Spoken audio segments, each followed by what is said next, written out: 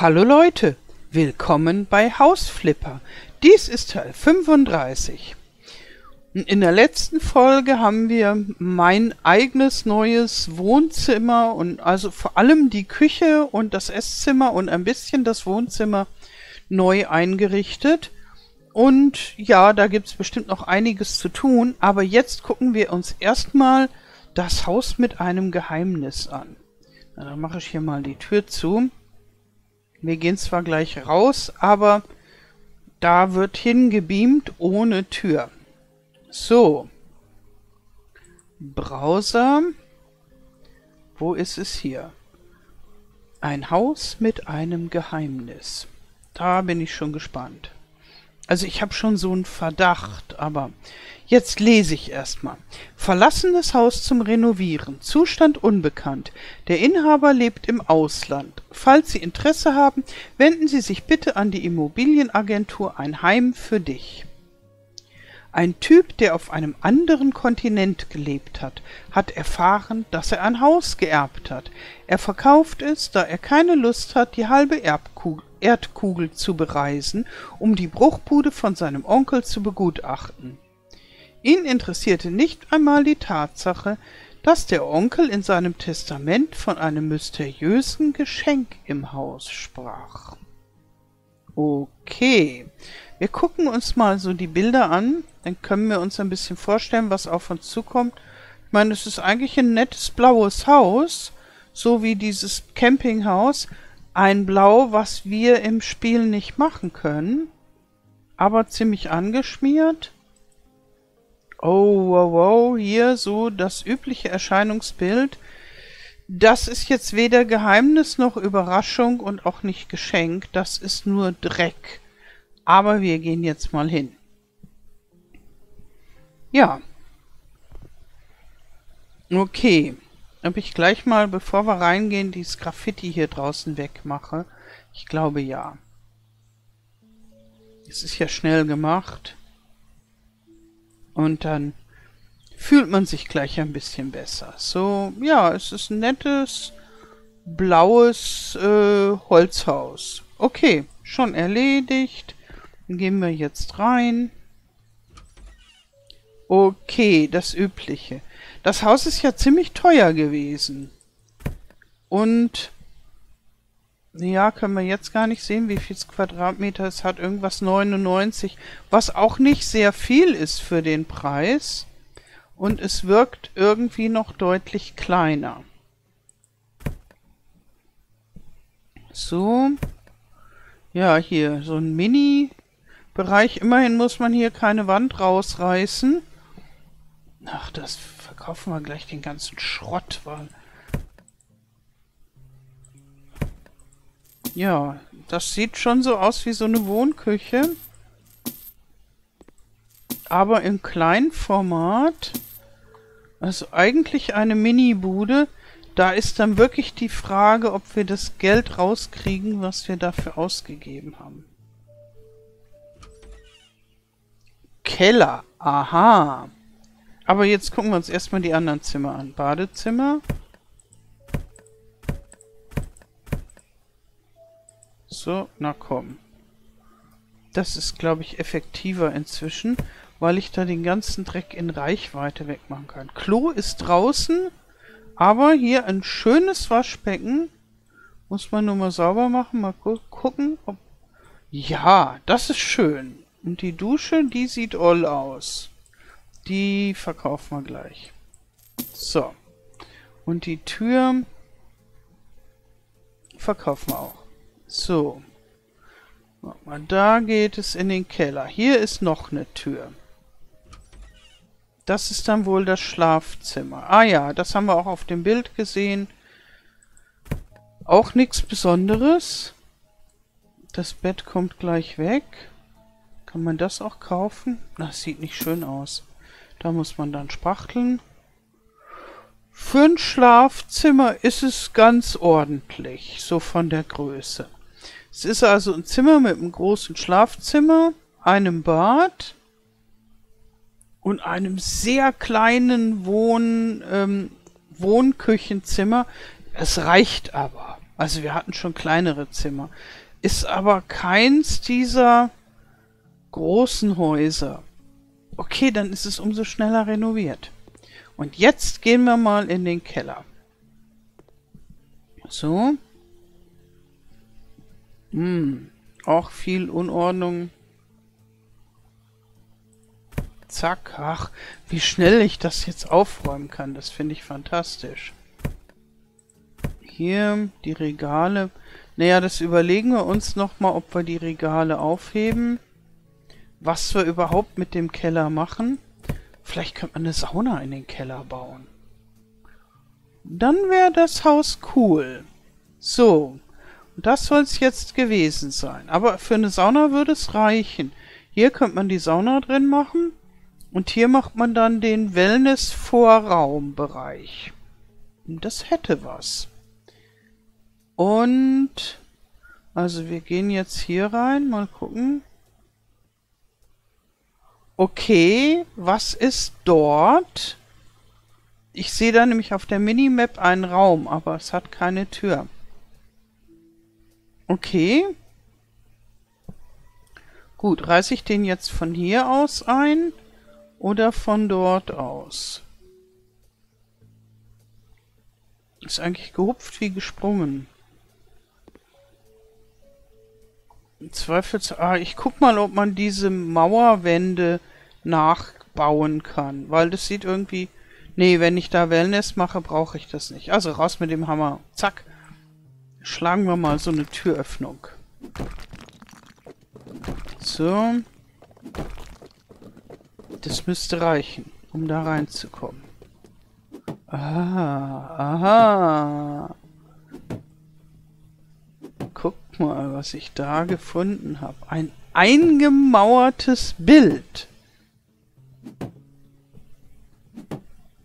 Na komm, das kriegst du jetzt auch noch weggeknüppelt. Und jetzt packen wir hier mal dieses Ding. Buah, ein Kitschsessel. Und hier so ein Schränkchen. Und hier dieses Bild. Das ist das Geheimnis. Ich weiß nicht, kennt ihr dieses Bild? Das ist eins der berühmtesten Bilder der Kunstgeschichte. Auf Englisch heißt es Starry Night und ich weiß gar nicht, wie es auf Deutsch heißt. Es ist von Van Gogh gemalt. Van Gogh ist einer der berühmtesten Maler, der war so ein bisschen verrückt und hat aber sehr, sehr berühmte Bilder gemalt. Und dieses Bild ist in echt 10 Millionen Dollar wert wenn man das kaufen würde auf einer Auktion oder so. Und ist natürlich in einem Museum. Und ich bin mal jetzt gespannt, wie viel das hier bei uns wert ist. 46.000. Das ist schon weit weg von einer Million. Das ist also höchstens eine gute Kopie. Aber trotzdem viel Geld. Die Frage ist, will ich das in diesem Haus lassen? Ich kann es leider nicht in mein Inventar packen und in mein Haus hängen. Das wird mir am besten gefallen. Das fände ich cool. Hm. Also bevor ich das verkaufe, weil man kriegt es ja nicht nach. Wenn ich es verkauft habe, ist es weg. Ich packe das jetzt erstmal hoch. Ups, nein, so, vor lauter Bild. So. Gibt es einen Platz im Wohnzimmer, wo man es hinhängen kann? Hier. Ich hänge es erstmal hier hin. Und dann kann ich immer noch überlegen, ob ich es verkaufe. Weil ich habe jetzt, obwohl ich das Haus gekauft habe, noch 195.000 äh, Euro. Und ich habe ja mein Haus, dann habe ich ein anderes Haus gerade für ein Speed-Video noch in Arbeit.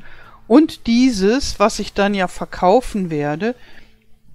Vielleicht lasse ich es auch einfach drin. Aber die Frage ist, kriege ich das ähm, bezahlt, wenn ich das Haus verkaufe? So, das Ding verkaufen wir aber. Das ist irgendwie zu grottig. Also es ist nicht grottig, aber sagen wir mal nicht mein Stil. Gut. Jetzt kann ich überlegen, ob ich die Sauna hier drin mache oder da drin. Auf jeden Fall kann man hier so ein, ein Wohlfühlkeller machen. Man könnte ja hier so ein allgemeines Wohlfühlaufenthalt, Sofa, Lounge-mäßiges Ding machen. Und hier packt man ein Bad rein mit Dusche und Dusche und Badewanne. Es gibt ja keine so richtigen Saunaanlagen. Also so Saunadusche spezielle.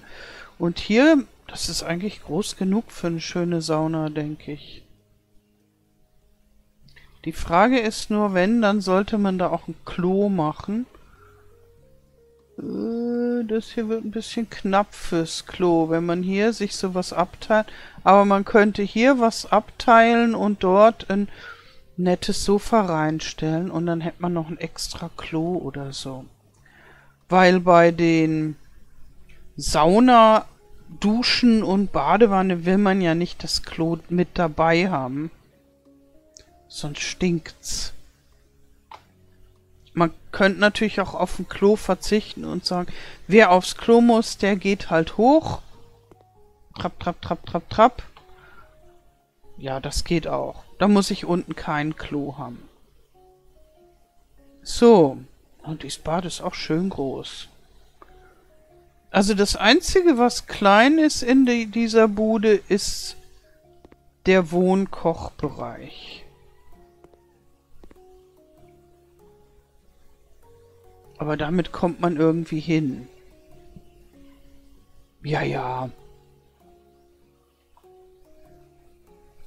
Also, putzen. So.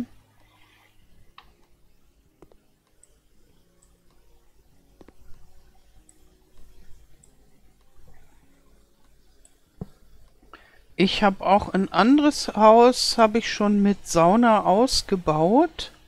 Das gibt's da mal als Speedbuild-Video. Und da musste ich aber die Sauna mühsam so, ja, aus dem Wohnbereich rausschneiden sozusagen. Da habe ich dann statt, dass es ein zweites äh, Schlafzimmer gibt oder ein Büro oder so, habe ich dann einfach eine Sauna gebaut. Habe auch das normale Bad, habe alles rausgerissen. Alle Wände habe ich rausgerissen. Das hat Spaß gemacht. Und dann ganz neu aufgeteilt mit so einer Saunalandschaft. Und das gibt's dann als Speed-Video, wenn dies fertig ist. Also sozusagen das Thema von diesem und dem nächsten oder übernächsten Haus ist dann Sauna.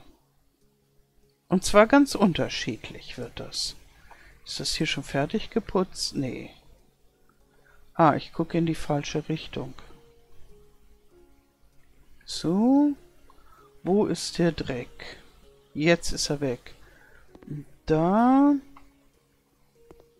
Hier ist noch Dreck. Okay. Nee, das ist irgendwie die falsche Richtung. Hier. Da muss noch... Ah, da war er, der Dreck. Okay. Dann gehen wir auch gleich mal runter zum Putzen. Husch, husch, husch. Ach, hier gibt's gar nichts zum Putzen. Da war nur... Nur Un, äh, Unordnung. Dies hier ist natürlich ein bisschen heftig. Wir machen es mal auf. Ist da irgend... Ah, da ist was kaputt. Gut. Schon erledigt. Bevor wir hier im Dunkeln stehen. So. Ich meine, jetzt gucken wir hier nochmal. Ich bin ja eine drastische Mauereinreißerin. Man könnte hier schon den Wohnbereich ein bisschen größer machen, indem man hier dann eine Mauer zieht Na, dann gewinnt man aber nur zwei Kästchen. Und wenn man hier bei dem Fenster abschließt, dann wird das Schlafzimmer viel zu klein. Tja. Wenn ich das so mache, also hier zwei Kästchen. Dort wären es dann schon drei Kästchen. Das wäre schon ein Unterschied. Und kann ich die Tür verschieben? Ja. Okay, also Kommando einreißen. das scheint mein Lieblingshobby zu werden. Hätte ich nicht gedacht.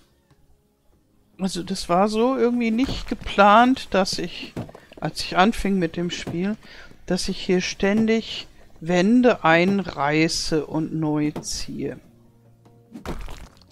Ich guck mal, ob ich inzwischen schnellere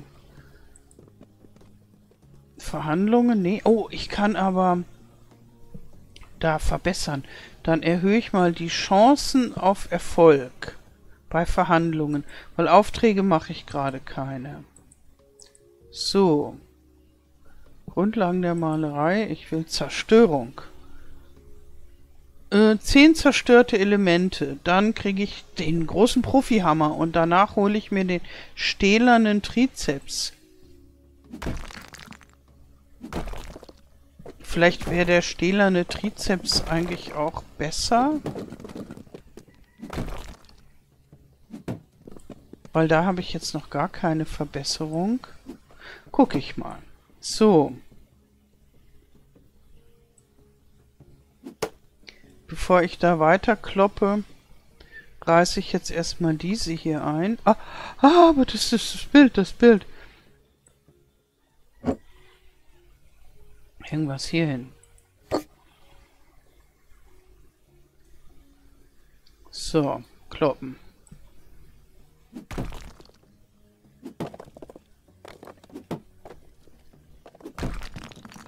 Sehr gut.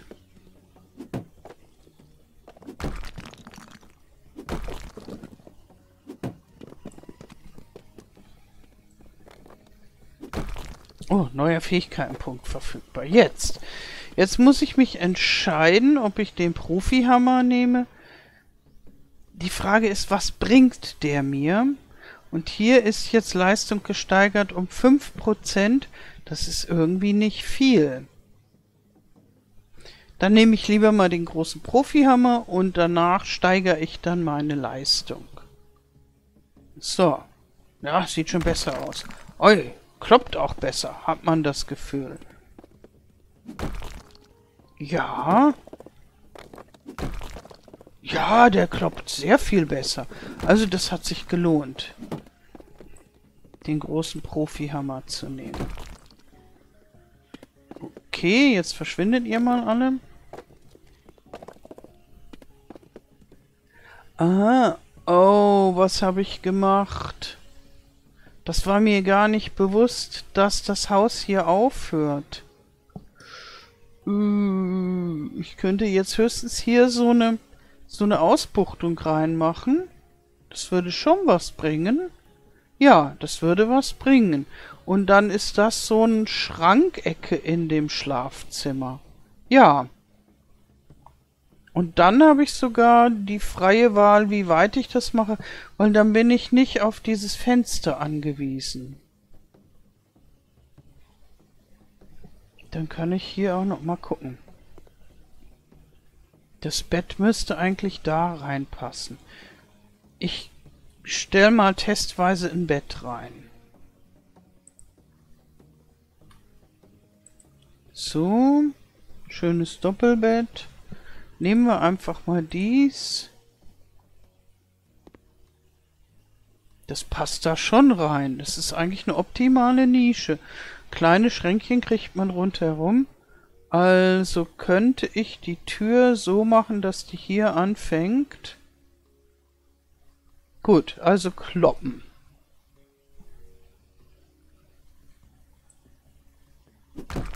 So.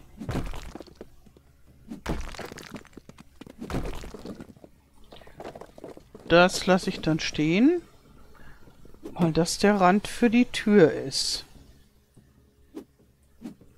Ja, der Rest wird sich gleich auflösen. Gut.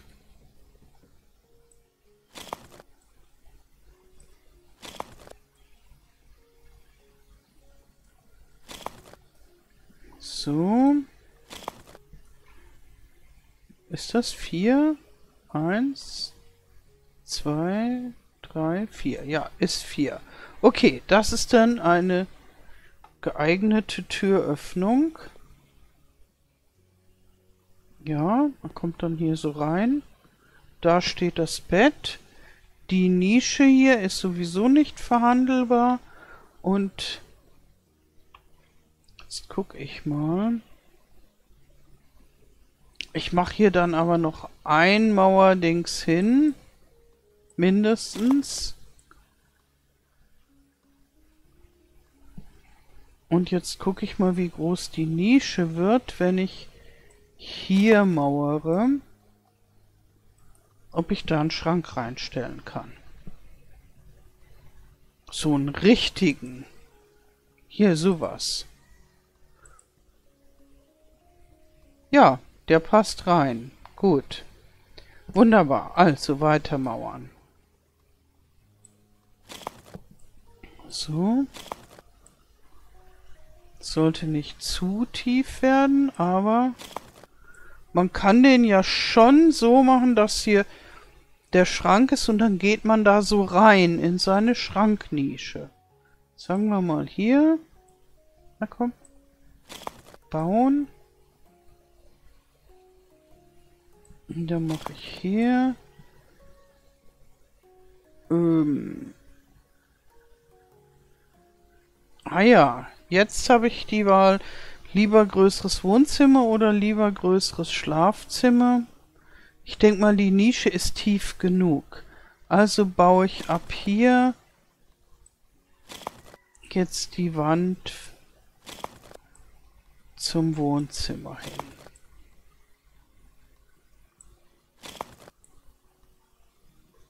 So.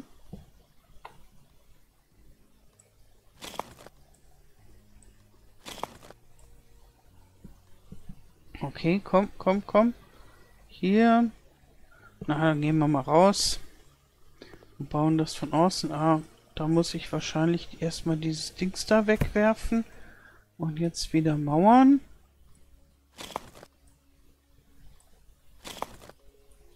Gut. Jetzt gucken wir uns das mal an. Ja, das ist doch gleich sehr viel größer geworden. Machen wir Licht an. Wunderbar. Ja. Das finde ich jetzt okay.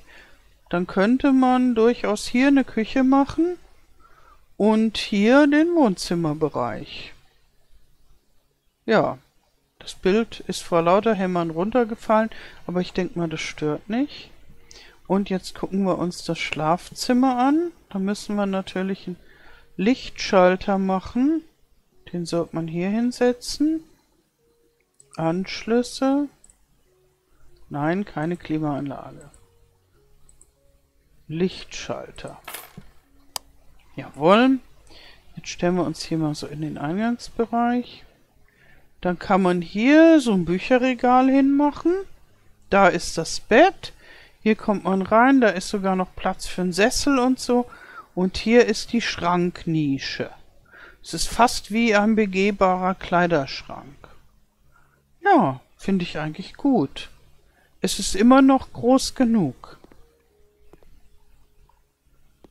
Ja, jetzt mache ich hier mal neue Fußboden rein, weil wenn man genau hinguckt, sieht man, der sieht schon etwas abgeranzt aus. Ähm, das ist bei Laminat.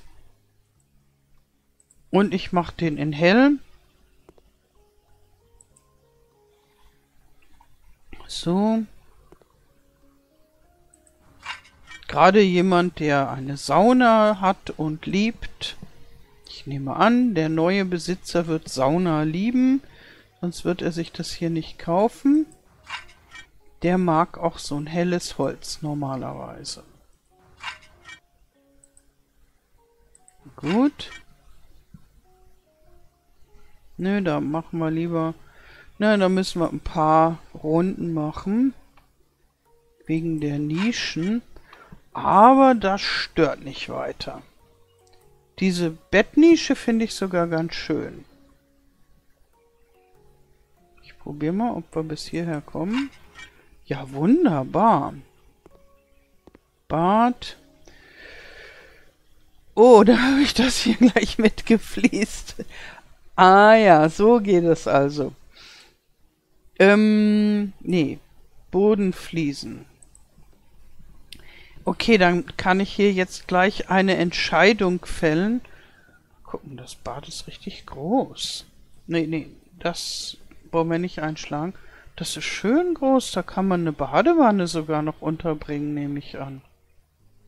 Und wir erstmal eine Dusche reinstellen und dann sehen wir. Und unten gibt's dann ja auch noch eine Badewanne und eine Dusche, nehme ich an. Bei der Sauna. Ja, hier das Klo. Riesenbad. Gut. Ja, was nehmen wir für Fliesen? Hm. Diese hier haben so einen gewissen Wellness-Charakter. Ich tendiere dazu, die für die Wände im Saunabereich zu nehmen. Weil das erinnert mich an so die Thermalbäder, wo ich gerne bin. Ob diese blauen Keramikfliesen gut aussehen. Die hier sehen so schummerig aus. Und die.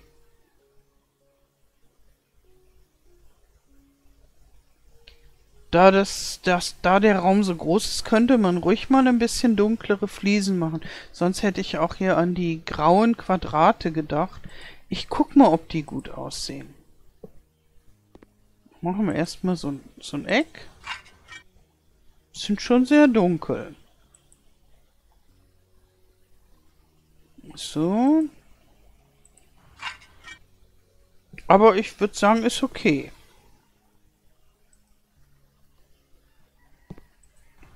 So. Ja, das war's dann schon. Gut, die Wände werden aufwendiger. Okay. Ich denke mal, ich streiche dann mal wieder alles in weiß. Farben, weiß. So.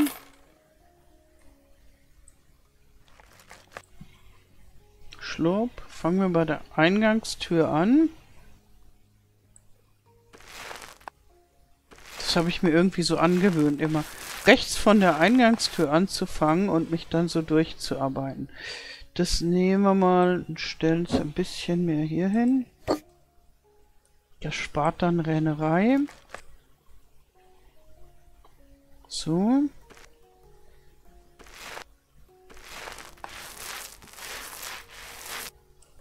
Das wird gleich viel besser.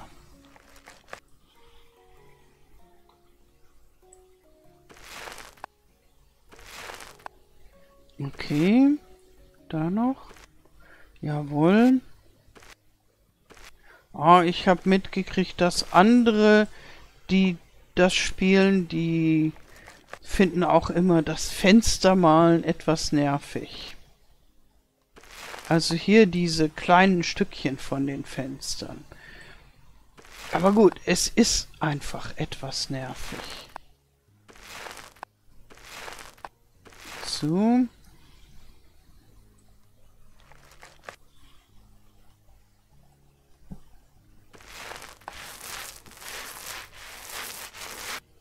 Gut.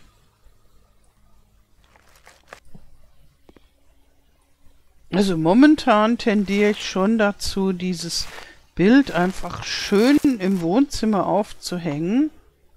An zentrale Stelle, also vielleicht da, wo es jetzt gerade liegt, hinhängen. Weil das ist einfach schöner und das Geld brauche ich gerade nicht so dringend.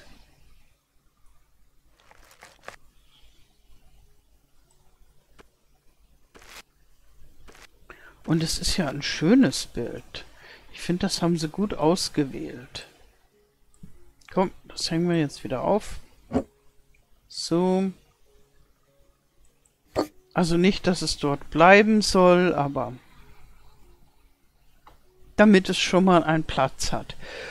Okay, ich werde jetzt zwischen den Folgen einfach mal hier oben rum alles weiß anstreichen. Und danach fangen wir dann mit der nächsten Folge an. Okay, ich wünsche euch noch einen wunderschönen Tag. Vielen Dank fürs Zuschauen und alles Gute bis zum nächsten Mal. Tschüss.